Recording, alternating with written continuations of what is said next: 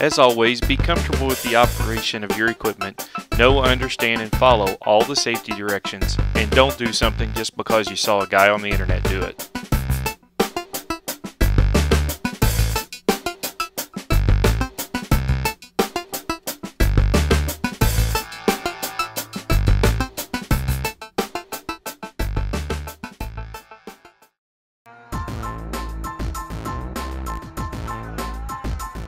This week I'm starting a series of videos where I build a large dining room table from reclaimed lumber that came from a barn that blew down on my grandfather's farm.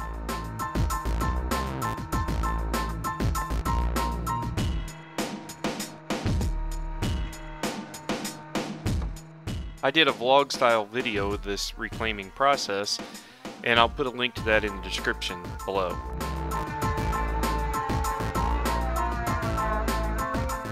I started by milling this rough sawn reclaimed lumber down to a consistent thickness.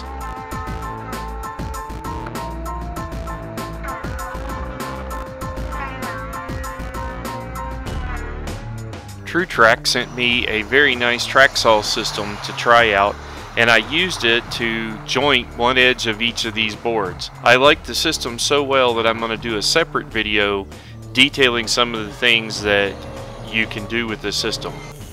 After joining one edge, I ran all the boards through the table saw to clean up the opposite side and remove deeper defects that I thought would cause problems with the overall top construction. After getting everything trimmed to width, figuring out the placement of the boards, I used my plate joiner to index all the pieces so that I could easily fit them together with a flat top. While plate joining or biscuit joining does not really do a lot for strength, it sure helps index the top so that you get a nice uniform fit across the length of a long top like this. For the glue up, I took pairs of boards, coated them with thick coats of glue, and then glued up the pair. Here I'm using a wedge and glue up board technique to glue up the pairs of tabletop boards.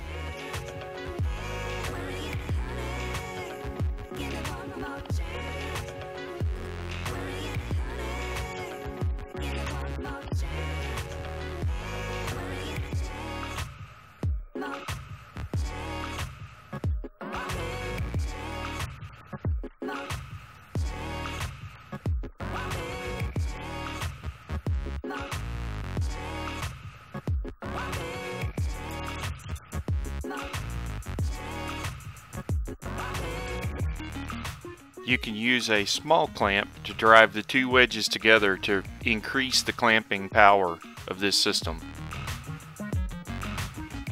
So I ended up with three pairs of boards and then a single center board that I'll run through the planer one last time to clean up excess glue as well as flatten the boards a little more.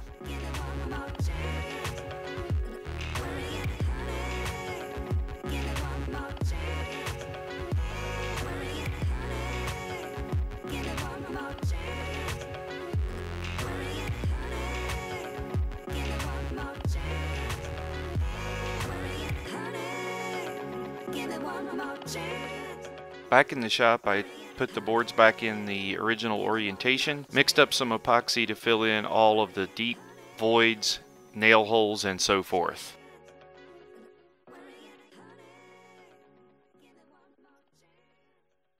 The single center board I mentioned before had some split down the middle, so I decided to install some Dutchman to help control that split as well as just a decorative feature of the table.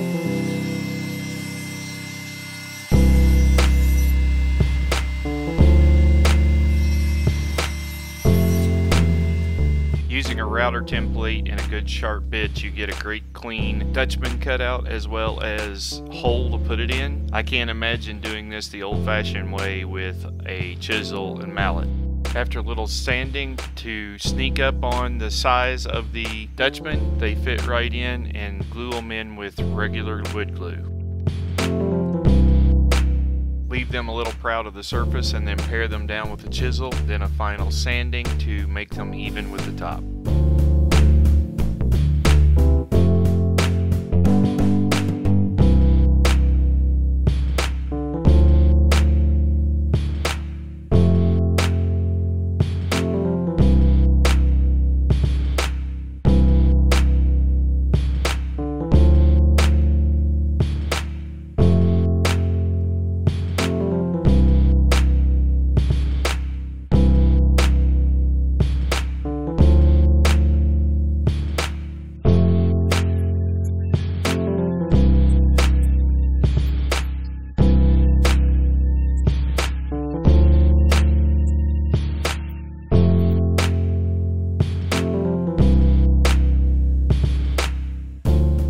Finally, back to the glue up stage to glue up all of the pairs of boards into a solid single top. I discovered that the glue up time, or the working time of the glue was pretty short, so I was gluing one joint at a time and then clamping together and then moving on to the next joint.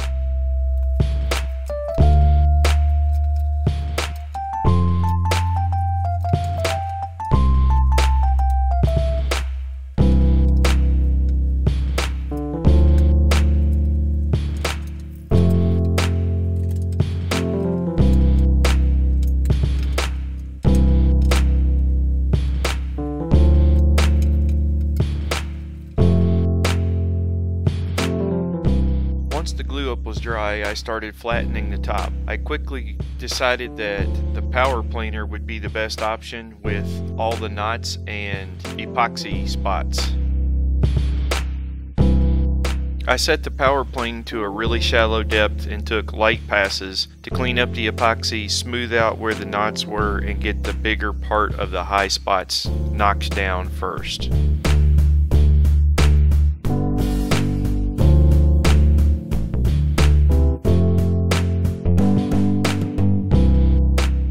Had this large knot that I thought was stable blow out while I was planing the top, so I mixed up a little epoxy to fill the void.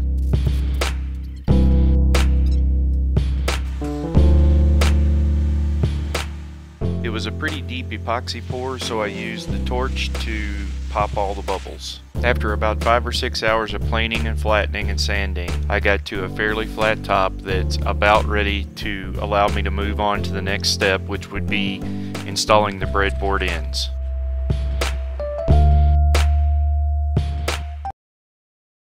If you enjoyed this video, please click like and subscribe. And tune in next week when I'll show you the process of making the breadboard ends as well as starting on the trestle undercarriage of the table.